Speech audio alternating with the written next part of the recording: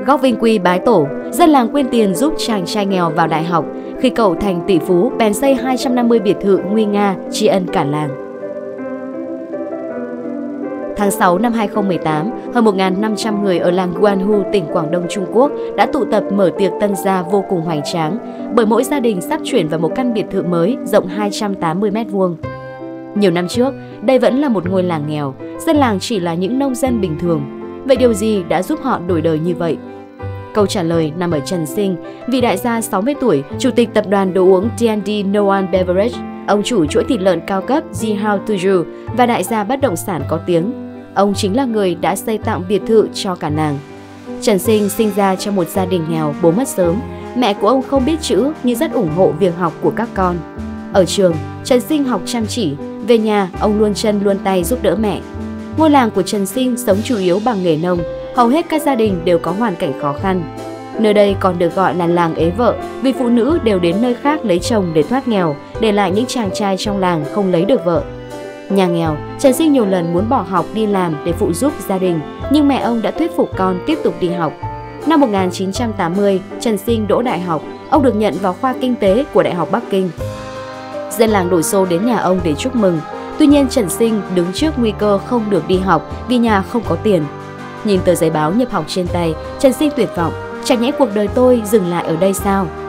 Thế nhưng vài ngày sau, dân làng kéo đến nhà Trần Sinh và nói với mẹ của ông Làng của chúng ta cuối cùng cũng có người đầu tiên đỗ đại học, vì thế chúng ta nhất định phải cho thằng bé đi học.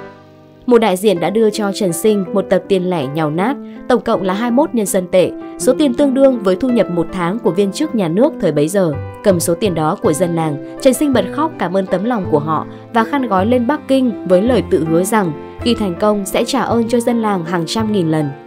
Năm 1984, sau khi tốt nghiệp, Trần Sinh giảng dạy tại Học viện Giáo dục Quảng Đông và sau đó làm tại Thành ủy Quảng Châu và Trạm Giang. Mẹ của ông rất tự hào vì con trai có công việc, tuy lương không cao nhưng ổn định.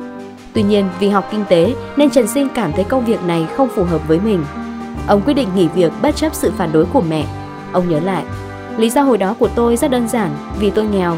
Tôi chưa bao giờ đóng hay khóa cửa khi ngủ, vì nơi tôi ở chẳng có thứ gì đáng để ăn trộm, vậy nên tôi muốn làm giàu.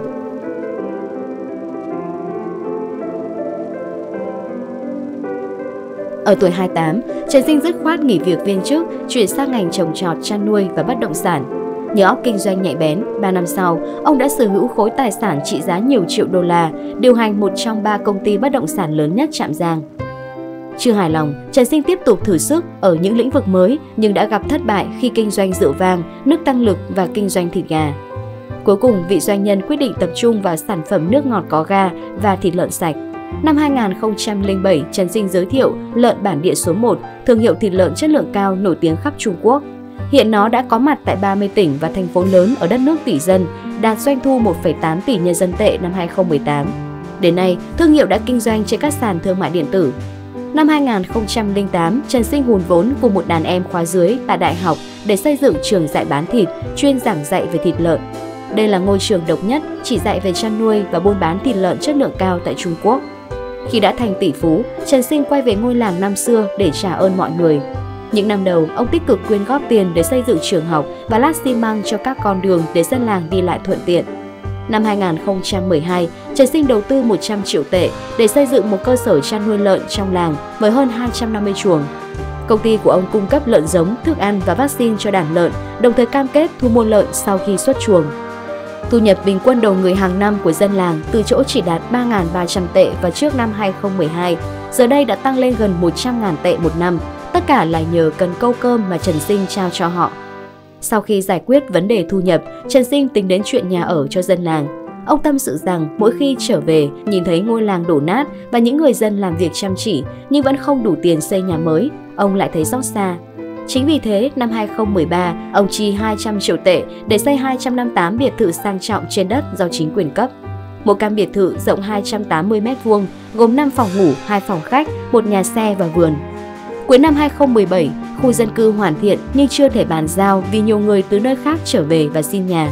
Nhiều gia đình thậm chí còn đòi hai căn vì số người quá đông.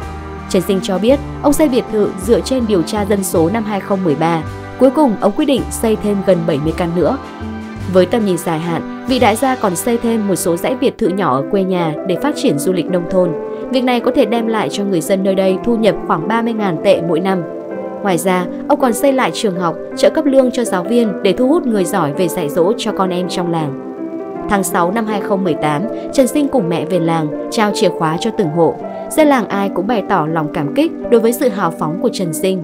Đáp lại, ông chỉ khiêm tốn nói rằng làng Guanhu là nơi đã nuôi dưỡng và tạo điều kiện để ông có thể học đại học. Chính vì thế, sự trả ơn của ông là điều nên làm. Ông phát biểu trong buổi lễ tân gia của cả làng. Mai này, tôi sẽ già đi và về với tổ tiên. Việc tôi xây biệt thự và tạo cấy sinh nhai cho mọi người là điều khiến tôi rất hạnh phúc.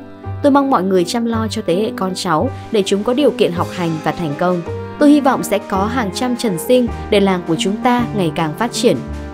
Ngày nay nhờ Trần Sinh, dân làng Guanhu đã được sống trong những ngôi biệt thự hoành tráng, có cuộc sống sung túc, con cái của họ cũng được học hành tử tế và có tương lai tươi sáng.